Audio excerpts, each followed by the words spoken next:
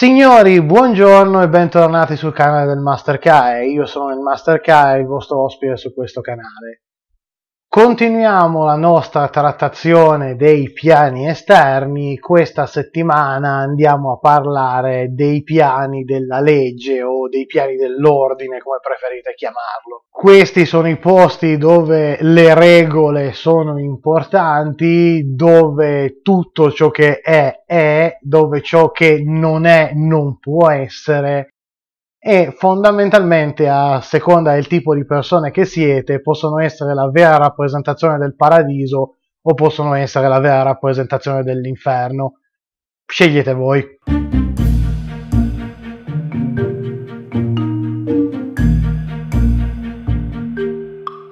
L'ordine è una delle due forze primordiali dell'universo, è la seconda forza che si sia mai manifestata e emerse direttamente dal caos agli albori dell'esistenza. L'ho già detto in altri video, il vero conflitto all'interno della grande ruota non è quello del bene contro il male, quella è una facezia che riguarda principalmente i mortali. Il conflitto vero e proprio è quello della legge contro il caos che si contendono il dominio sulla natura stessa dell'universo. I piani della legge sono ovviamente allineati con la forza della legge e sono il luogo da cui la volontà dell'ordine si irradia all'interno della grande ruota, facendo in modo che tutto sia quello che deve essere e che tutto ciò che non debba essere smetta di essere. Non sono un posto adatto ai principianti, sono probabilmente uno dei luoghi più ostili ai mortali dell'intero universo, anche se nei piani dell'ordine trasmigrano tutte le anime di quei mortali che effettivamente hanno dedicato la loro vita al mantenimento delle regole della giustizia intesa come nel rispetto delle regole dei patti e tutte quelle persone che in linea generale hanno sempre cercato di fare ciò che è corretto indipendentemente dal fatto se questo sia giusto o se sia sbagliato. Potrebbero esserci dei supplicanti anche relativamente buoni, ma anche i buoni nei piani dell'ordine sono per loro natura estremamente severi. Piano supremo della legge dove nulla accade per caso e ogni cosa ha il suo posto, l'utopia meccanica di Mechanus è un luogo fatto di gigantesche ruote dentate e ingranaggi, alcune grandi come veri e propri continenti, che ruotano tra di loro in un macchinario che si estende all'infinito, impegnato in un calcolo così complesso sulla natura fondamentale della legge nell'universo che probabilmente va al di là della capacità di comprendere anche degli stessi dei della legge che per la maggior parte risiedono qui. Mechanus non ha un vero e proprio ecosistema perché è fatto principalmente di ingranaggi metallici. I suoi principali abitanti sono gli inevitabili che qua vengono assemblati per poi essere mandati a portare la legge in tutto il multiverso e i Modron, esseri meccanici dalle forme geometriche che vivono impegnati in costanti attività collettive agli ordini del loro dio Primus. Tutto questo è però disturbato, anche se disturbato con una precisa efficienza militare, dagli eserciti Formian che avanzano costantemente per conquistare sempre nuovo spazio, fondare sempre nuove colonie e in cui anche i Formian hanno la loro massima espansione perché possono andare avanti con il loro impeto imperialista all'infinito data la natura del piano. Mechanus non ha dei sottostrati o delle divisioni planari, anche se ogni singola ruota fondamentalmente rappresenta un suo insieme di per sé. Ogni ruota ha una sua gravità centrata sulla parte piatta della ruota, quindi camminando su una delle ruote dentate è possibile vedere la gente che cammina perpendicolarmente sulla superficie di quelle a fianco, ammettendo di essere vicini ai bordi perché queste ruote si estendono per migliaia di chilometri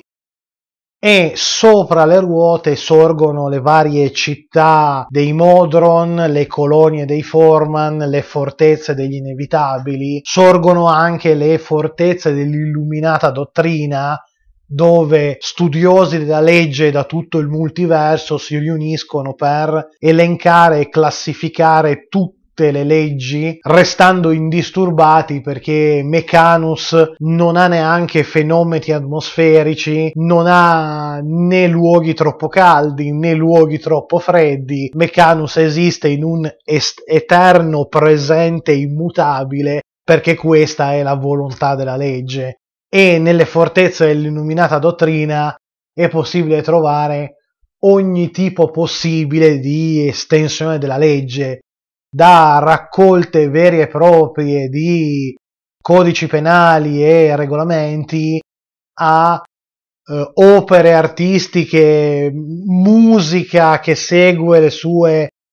composizioni numeriche, ma quello che non è possibile trovare è la passione per queste cose. Tutto su Mechanus avviene in maniera precisa, matematica e distaccata,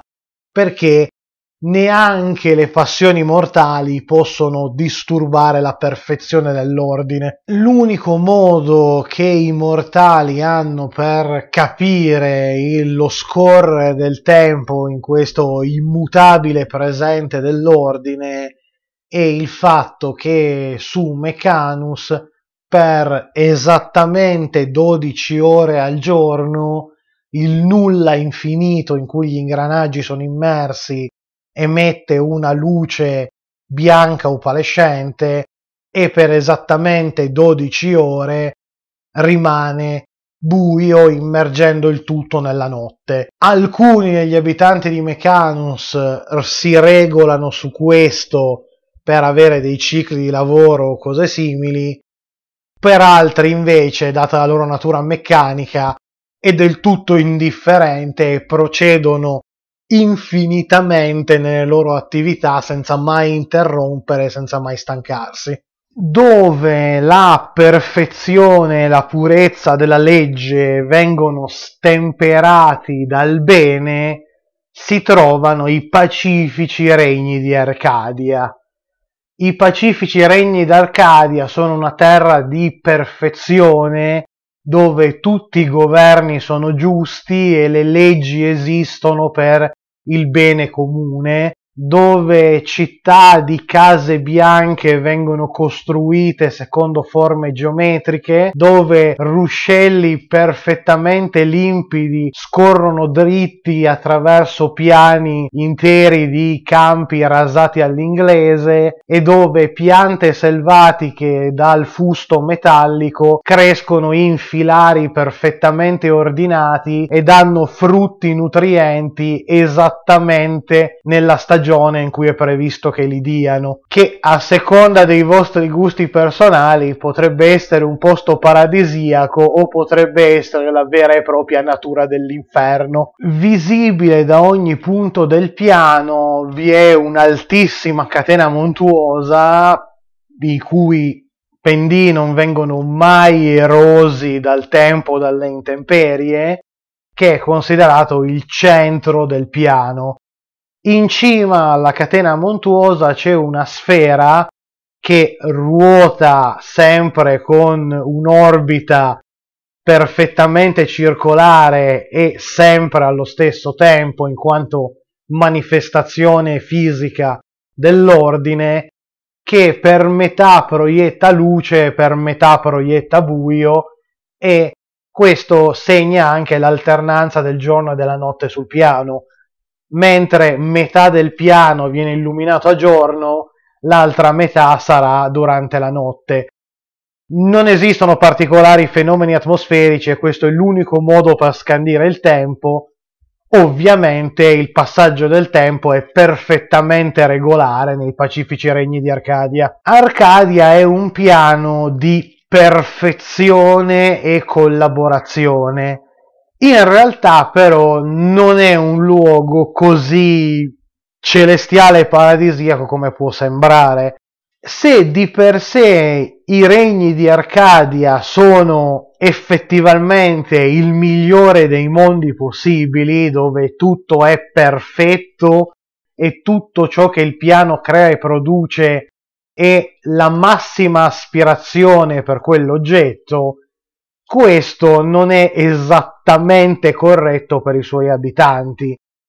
Anzi, gli abitanti di Arcadia non sono un popolo benevolo guidato alla legge, sono un popolo legale tendente al benevolo. Gli abitanti di Arcadia sanno di vivere nel migliore dei mondi possibili, si considerano le migliori persone possibili e hanno scarsissima tolleranza per chiunque non faccia le cose esattamente come loro vogliono che vengano fatti. Questo vuol dire che se i regni sono particolarmente pacifici tra di loro e vivono una perfetta armonia di scambi economici equi, questo non vale per i viaggiatori planari che sono spesso ostracizzati o semplicemente ammazzati se non si attengono alla perfezione alle istruzioni che gli vengono date agli abitanti, che ovviamente essendo gli abitanti dei pacifici regni di Arcadia, partono dal presupposto di essere sempre indiscriminatamente nel giusto e non sono gli abitanti di Monte Celestia che danno anche importanza all'individualità. Il campo di battaglia infernale dell'Acheronte è il luogo dove la legge viene contaminata dal male e dove ciò che deve essere è per controllare, sottomettere e favorire i più forti. L'Acheronte è formato da vari strati, ognuno dei quali pieno di enormi solidi geometrici dall'apparenza metallica, grandi come veri e propri pianeti in alcuni casi, che ruotano tra di loro, alle volte urtandosi in maniera catastrofica e cui su ogni faccia dei cubi infiniti eserciti si allenano e combattono costantemente per la supremazia gli uni con gli altri. È un luogo in cui ci sono veramente molti soldati, ma veramente pochi leader militari, perché solo le menti più ordinate e disciplinate riescono effettivamente a portare a segno operazioni militari nella natura natura costantemente mutabile dei campi di battaglia dell'Acheronte. L'interno dei solidi è riempito di cunicoli, gallerie e grotte in cui crescono varie varietà di funghi commestibili e anche dei frutti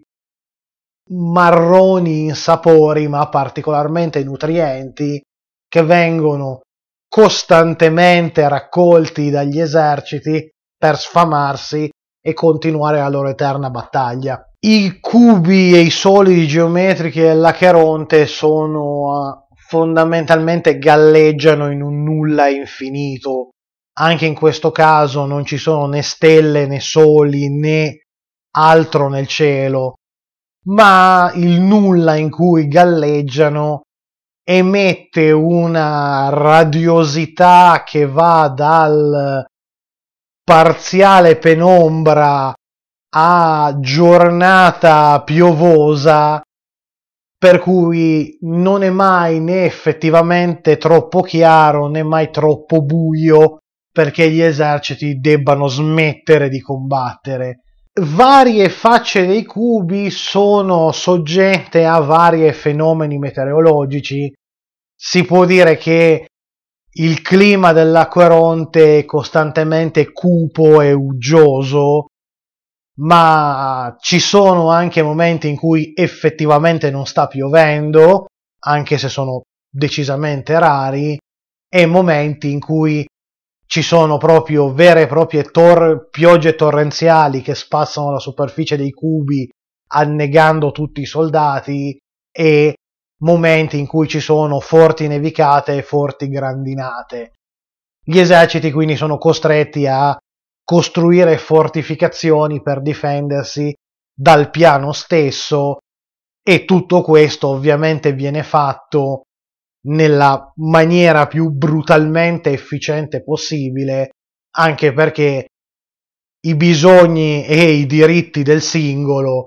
come concetto non hanno senso sull'Acheronte, perché qui è dove la legge prevarica anche la natura del singolo perché è contaminata dal male. E se quanto detto finora non vi ha ancora fatto passare la voglia di girare la grande ruota, settimana prossima, no, tra due settimane probabilmente andremo a vedere